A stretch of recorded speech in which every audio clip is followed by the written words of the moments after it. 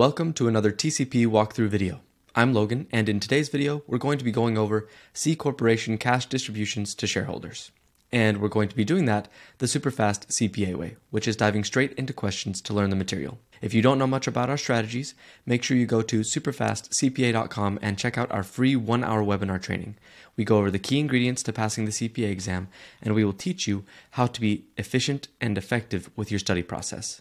Make sure you go check it out. Again, it's only one hour and it is free. The link will be in the description. Also, just letting you know, we will only be going over five questions in this video, whereas Superfast CPA members will have access to the full 10 question video when we post it in the members forum. So, if you like this, you can get more of it by becoming a Superfast CPA member. With that said, let's dive straight into the questions. All right, here we are at question one. XYZ Corporation, a C corporation, has accumulated earnings and profits of $50,000 as of the beginning of the year. During the current year, XYZ Corporation earned an additional $20,000 in earnings and profits. During the same year, XYZ Corporation distributed $100,000 in cash to its shareholders. How much of the $100,000 distribution is considered a return of capital? Okay, so we've already dealt with something similar to this in a previous video where we were talking about non-cash distributions and how those were treated. It's very similar when it comes to cash distributions. So if you remember that video, you'll know a lot of the stuff in this video as well. But if not, that's okay. Let's dive straight into the answer to learn how this works. Okay, the answer is $30,000 will be a return of capital. So let's read through this. The distribution of $100,000 exceeds the total earnings and profits, so that's the accumulated earnings plus the current earnings of $70,000 total, and that's the 50,000 plus the 20,000. The amount of the distribution that exceeds the available earnings and profits is considered a return of capital. Thus, $30,000 of the distribution, so the $100,000 distribution less the $70,000 that was covered by the E&P, is treated as a return of capital. This reduces the shareholder's basis in their stock. If the shareholder basis is reduced to zero, any distribution beyond the reduced basis of zero would be treated as a capital gain. Okay, so in just this first question, we learned basically, or just the basics, how this works. When there's a distribution, a cash distribution from a C corporation to its shareholders, if there is accumulated earnings and profits and current earnings and profits, or just earnings and profits in general, then any amount that comes from earnings and profits is considered a dividend to the shareholders. Any amount over the earnings and profits is considered a return of capital. However, if the shareholders' basis is reduced to zero because of the return of capital, then any amount past that is considered a capital gain for the shareholder. So, again, very similar to what we've looked at before, just cash distributions this time. Let's go to the next question. Okay, here is question two. Talon Inc., an accrual basis C corporation, had accumulated earnings and profits of 25000 at the start of the year. Throughout the year, Talon Inc. generated additional earnings of, and profits of $45,000. The corporation made three cash distributions to its shareholders during the year $20,000 in March, $30,000 in July, and $50,000 in December. Calculate how much of the December distribution is classified as dividend income to Talon's shareholders. Okay, so before it was just giving us the total distributions, but now there's three separate distributions. So how does that work when it comes to earnings and profits and dividends and then return on capital and everything like that? So to learn how it works, let's dive straight into the answer. Okay, the answer is $22,500 will be a dividend in the December one. So let's read through this. It's a bit more complicated now. The total E&P available for the year is $70,000, so that's the $45,000 of current E&P and the $25,000 of accumulated. The total distributions amount to $100,000. Any distributions amounts from E&P are considered dividend income to the shareholders, so we know that. However, how does it work when there's multiple distributions throughout the year? Well, it turns out you have to do pro rata, so let's go through this. First, for the March distribution, there's $20,000 that's needed, and you know we want to cover all of that with E&P if we can, but you have to do pro rata current E&P first. And what that means is you take this distribution out of the total distribution, so 20,000 out of $100,000, multiply it by the current E&P, and that gives you $9,000. So even though there's $45,000 of current E&P that could have been used towards this March distribution, only $9,000 of it can be used because we need to do it pro rata that means that there's still $11,000 of this distribution that wasn't covered by current E&P, and then you use accumulated E&P. So we use $11,000 there. That leaves $14,000 of accumulated E&P. I'll explain it a little bit more, but let's keep going first. Then there's the July distribution. So that's again $30,000 of the total $100,000 of distributions. You multiply that by the current E&P, giving you $13,500 of current E&P that can cover this distribution. So that means there's still $16,500 of this distribution that needs to be covered by accumulated E&P. So we use $14,000 of accumulated E&P, leaving $2,500 uncovered, which by the way, that would mean that $2,500 of this July distribution is a return of capital, the December distribution. And that's again $50,000 of the $100,000 total of distributions. Multiply it by the $45,000 of current E&P, giving us $22,500.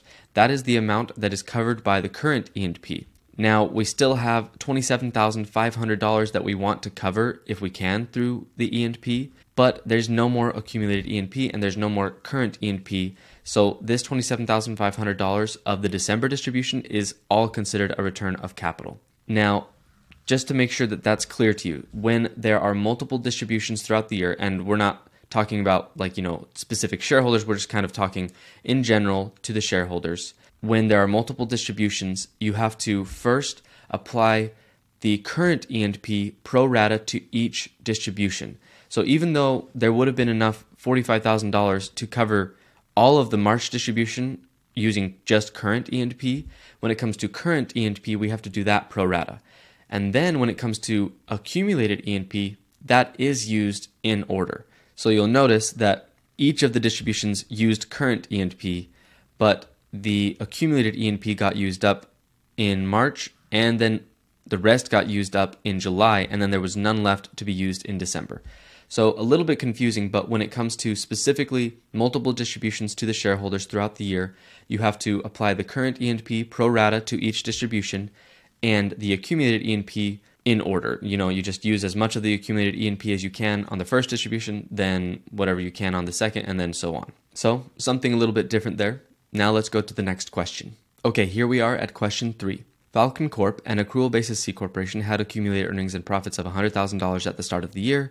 During the year, Falcon Corp made a single cash distribution of $150,000, of which $60,000 was allocated to preferred shareholders and $90,000 to common shareholders. No additional earnings and profits were generated during the year. How much of the distributions to the preferred and common shareholders is considered a return of capital? So, how much is a return of capital to the preferred shareholders, and then how much is a return of capital to the common shareholders. Now, probably you can guess what the answer will be. So if you want, go ahead and take a second and think about it. If not, let's go ahead and look at the answer. Okay, the answer is A. $0 would be considered return of capital to the preferred shareholders, and $50,000 would be considered return of capital to the common shareholders. So let's go through this. Pretty straightforward, by the way. Falcon Corp had $100,000 of E&P to use. The total distributions was $150,000. When it comes to preferred shareholders, they typically get full prioritization. So the full $60,000 to the preferred shareholders uses up E&P, and then the remaining $40,000 is allocated to the common shareholders. The common shareholders had a $90,000 distribution, so only $40,000 of it is considered dividends because it was from E&P, and the remaining $50,000 is considered a return of capital to the common shareholders. So the entire $60,000 distribution to preferred shareholders is covered by the E&P because they're preferred, they get it first. The common shareholders, again, $40,000 of it is considered dividend income because it's from the E&P, and then the remaining $50,000 is considered a return of capital. So this is a pretty straightforward question, basically just teaching you when it comes to preferred shareholders and common shareholders. Preferred shareholders get first go at the E&P, meaning that they get dividend income before common shareholders get dividend income. All right, let's go to the next question. Okay, here is question four. In the current year, Eagle Inc., an accrual basis C corporation, has a negative accumulated E&P of $20,000 at the start of the year, but generated $50,000 in E&P during the year. The corporation has one shareholder with a stock basis of $25,000. Eagle Inc. made a single cash distribution of $100,000 to the shareholder at the end of the year. How much of this distribution is treated as a capital gain for the shareholder? Okay, we've talked about this a little bit, but the thing that could be confusing here is the negative accumulated E&P. So think about it for a second, but you could probably get this answer based off of what we've done before. So pause the video if you need to, come back when you're ready. Okay, the answer is $25,000 will be a capital gain for this shareholder. So let's break this down. So first we start with the E&P. Since the corporation's accumulated E&P is negative, it doesn't affect the distribution at all. They don't get to continue to pull out of negative E&P and make it more negative, the accumulated E&P just doesn't affect the distribution. But there is the current year E&P of $50,000, so that can be used towards the distribution. So we use $50,000 of that out of the $100,000. So there's still $50,000 left of the distribution that we have to account for. And we know that the shareholder stock basis is $25,000. So we're able to reduce their shareholder basis from $25,000 to zero, and that is a return of capital. But then there's still $25,000 left, meaning that after using up the E&P and the shareholder's basis. So the remaining $25,000 is a capital gain for the shareholder. So just remember that when it comes to cash distributions, and this also applies to non cash distributions, although you have to account for it with like fair market value and stuff, but it applies very similarly. First, it comes from E&P, then anything over E&P is a return of capital up to the shareholder's basis. Once the return in capital has reduced the shareholder's basis to zero, then any amount past that is a capital gain for the shareholder. All right, let's go to the next question. Okay, here is question five. Maplewood Ltd has accumulated earnings and profits of $80,000 as of December 31st, the previous year. In the current year, Maplewood made cash distributions totaling $200,000. Lucas received $40,000, Mia received $60,000, and Alex received $100,000. Lucas owns 20% of the company, Mia owns 30%, and Alex owns 50%. Additionally, Mia's stock basis prior to the distribution was $25,000. Calculate how much of Mia's distribution is considered a return of capital and how much is a capital gain. Okay, this is the first time where we're dealing with multiple shareholders specifically, like it's giving us multiple different shareholders who received distributions and their different amounts. So this could be a little bit tricky. Think about it. See if you can think through the problem based on what we've learned so far. And if not, that's okay. Let's go to the answer. Okay, the answer is that she would have a return of capital of $25,000 and a capital gain of $11,000. So let's walk through this. The total distributions made by Maplewood Ltd amount to $200,000, while the available E&P is $80,000, leaving a shortfall of $120,000 that's not covered by E&P. So first we have to figure this out. The pro rata calculation for Mia is we take the total share of her distributions, which is $60,000 of the $200,000. That's 30% of the distributions were to Mia. So we can only apply 30% of the E&P, and this does include accumulated and current E&P, to her distribution. So that's only $24,000. So she had a $60,000 distribution. We can only cover $24,000 of it with E&P because of her pro rata share. So the remainder of the distribution amounting to $36,000 is initially considered for a return of capital. Since Mia's stock basis is $25,000, this amount is first used to reduce the basis to zero. So we've used up 25,000 more dollars of the distribution as a return of capital, but now she has no shareholder basis. So the remaining $11,000 is treated as a capital gain. So just a new situation, a little bit different than when there's multiple distributions, but it doesn't mention specific shareholders. This one is talking about multiple shareholders, and we're just taking the total distributions. But just remember that in this case, when it comes to distributions to different shareholders, you can only use E&P pro rata. So you have to account for how much of the total distributions they received, take that percentage, and that is the amount of E&P that they can apply to their distribution. All right, we learned a lot with just five questions. Before we go any further, let's do one more part of the process called pillar topics. Now, the idea with pillar topics is as you're going through the questions to learn the material, you will notice the things that keep popping up, the things that they keep trying to teach you in the questions, how cash distributions work, how E&P is allocated pro rata, different things like that. You will just naturally see these things as you're going through. So you take a second and write these things down as pillar topics so that you have them written out clearly and you can keep them in your head for use later. Let's go to the pillar topics for this video. Okay, here are the pillar topics. First, distributions are considered dividend income to the extent they are covered by the corporation's current and accumulated E&P. When the total distributions exceed current and accumulated E&P, the E&P is allocated to shareholders on a pro rata basis based on the distribution each shareholder receives relative to the total distribution. If there are multiple distributions throughout the year, the current E&P is allocated pro rata between the distributions.